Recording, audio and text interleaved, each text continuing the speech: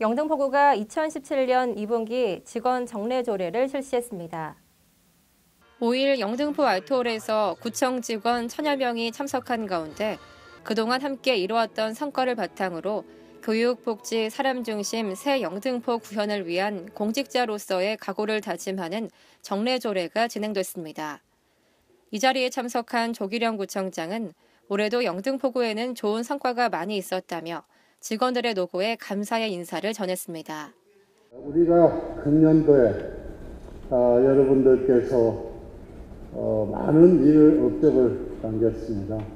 여러분들께서 그만큼 미리 준비를 하고 미래에 대해서 준비를 해왔기 때문에 금년 1월부터 좋은 성과가 있지 않았었나 저는 생각을 합니다.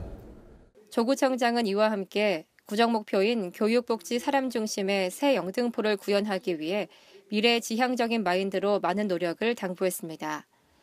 한편 이날 정례조례에서는 이석형 산림조합 중앙회장의 블루오션과 창조 경영에 대한 특강은 물론 지난 고정 성과를 직원들과 함께 공유하며 뜻깊은 시간을 가졌습니다.